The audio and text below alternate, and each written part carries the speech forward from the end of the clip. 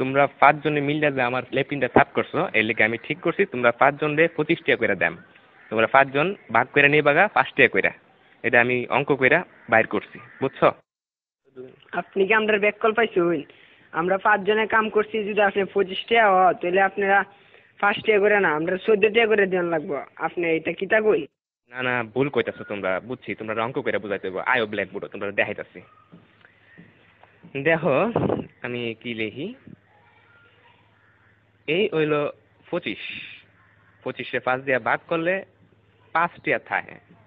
পঁচিশ দুইয়ের মধ্যে যা না, কিন্তু পঁচিশের মধ্যে যা। পঁচিশে পাঁচ দিয়ে ভাগ করলে থাকে পাঁচ। এসব উল্টা পাল্টা ওইসব আপনি কইতে দিচ্ছেন আমারটা দেন আপনি। হুম, চাই আমরা। পাঁচ। আমরা যদি পঁচিশ দিয়ে ভাগ করি তাহলে পাঁচ দুয়ের ভিতরে জানা জানা তো? কিন্তু পাঁচ আবার পাঁচের ভিতরে যা। পাঁচ কে পাঁচ। তাই জিরো। কাটতে লামাইলাম টু।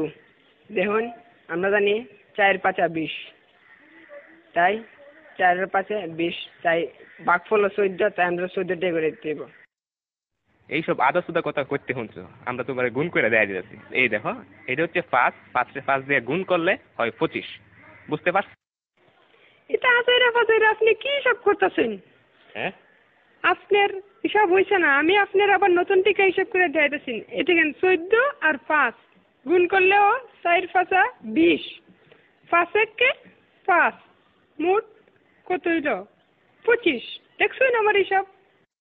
অহন বুঝতে পারছি, তোমরা সত্যি আসুদা আমরা অঙ্করা দেখো চোদ্দ চোদ্দ চোদ্দ চোদ্দ, পাঁচবার দিছি।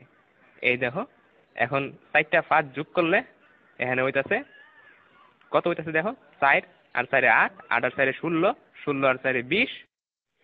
এক একুশ বাইশ তেইশ চব্বিশ পঁচিশ। দেখছোই না করে কাটায় কাটায় পঁচিশ টাকা আপনি কি হিসাব শিখছেন? সারা জীবন পড়ালেখা কইরা কি বালের হিসাব? হালিয়ার হালাই কি বুঝাই গেল এটা আমারে?